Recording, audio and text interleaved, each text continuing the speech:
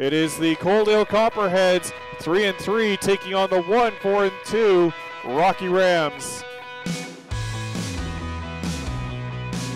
Rams being aggressive on the forecheck, have the puck back, a centering pass in front, turnaround shot. Portgate to save the rebound, they scored! A minute seven in, the Rams pounce on a rebound. Montford right back in. Grady Montford down the wing. Montford cuts in the backhand shot. They scored!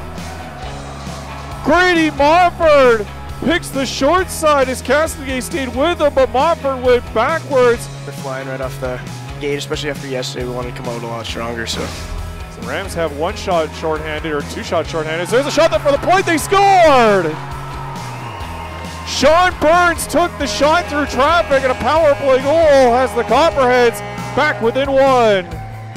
Castaway plays it in behind his own goal, turns it over, chance for the Rams in front, they scored! Off the turnover, Quintal Malty bangs it in.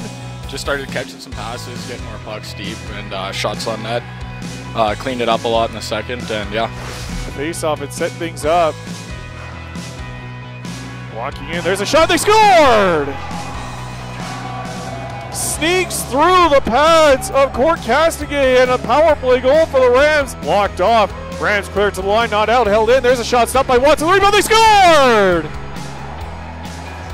James Halverson finally gets rewarded on the doorstep. And the Copperheads within one. The Copperheads are going to run out of time as the horn sounds and Coaldale gets within one three times, but the Rams would not let relinquish their lead as the Rocky Rams finish off a five game road trip with their second win of the season, a 4 3 win over the Coaldale Copperheads here this afternoon.